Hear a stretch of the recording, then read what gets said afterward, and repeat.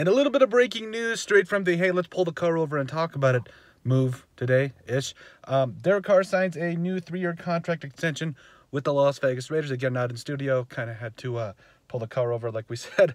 And, uh, you know, this is a big extension. I felt like a lot of people you know, for whatever reason, really have what I don't know whether it's hated on Derek Carr, if or if to be honest with you, if uh, honestly, if it's warranted. And I don't think it, it's warranted. I think Derek Carr is one of the better quarterbacks in this league. But, you know, uh, a lot of interesting things going on with this contract. So it's a three year, $121.5 million deal um, with $100, co- uh, 100 million, not 100, $100 million. Uh, coming over the next um, three years, I believe. So um, it's excuse me, it's uh, this is all according to Ian Rapoport. I got to make sure I get my sources in there. So uh, the big thing to take away from this is uh, Derek Carr. It's a three-year deal, so it keeps him and Davante Adams the core parts of their offense. You know, this is a great point out. Uh, a great thing pointed out by Ian Rapoport is you know it keeps those guys together long term for uh, you know a couple of seasons. I like it. I absolutely love it. Uh, and I want some more of it because I feel like at the end of the day, you know, a lot of times you get these you know these quarterback wide receiver duels. There's a lot of uncertainty, but now they know they're going to be working together. Now they know that they're going to be building something there in Las Vegas, and I'm excited for it. Um, and now, uh, currently, according again to Ian Rapoport. Um, the agreement ties Carr to the, uh, to the Raiders through the 2025 season. He's already the longest tenured quarterback in the AFC. So major ch- major change for a guy like Derek Carr, and I think he gets it. He absolutely has earned it. Um, and I'm really excited to see what it does bring for um, Derek Carr and the Las Vegas Raiders. Again, now they're going to start building something. I, I, do think, you know, as we head forward in the draft, there's a couple different things they could look at. Uh, potentially a starting right tackle, um, a lot of different things on defense that I think still could be addressed. But overall, you get two of your bigger playmakers, your starting quarterback, your franchise quarterback, excuse me.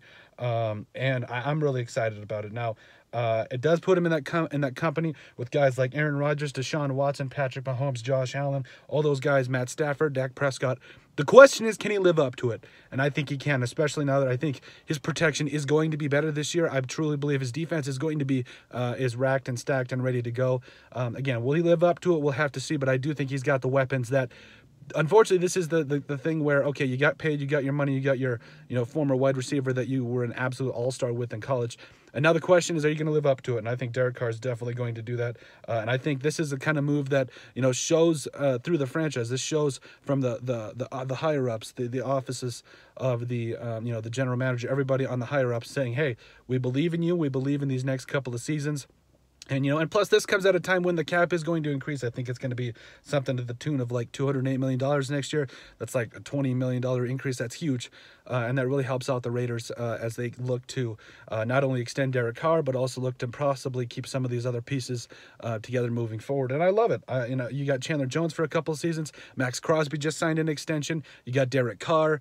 Uh, Josh Jacobs is coming up on the final year of his rookie contract. You can have a decision there. So you know, even Darren Waller, Hunter Renfrow, you got some weapons. You got some guys for these next couple of seasons, and the Raiders I think are going to compete for at least the next couple of years um, with Derek Carr, with a guy like Davante Adams, and um, I think they're going to be ready to go. Um, and I think you know a strong draft really will help them out. Um, you know, so I think uh, that, also this does, I forgot to mention, this does include a no trade clause, which again, I get it. I do think at the end of the day, you know, uh, you know, he I get it. It absolutely makes sense to me. Like he should he should have put this in because, you know, he's a guy that has shown that he only wants to play for the Raiders and that the team will gravitate and play for him. And I think that's absolutely huge. But let us know what you guys think, uh, you know, about pulling the cover, getting this, uh, you know, this news out because it's big time stuff. And I'm really excited to see what it does and what it means for the Raiders.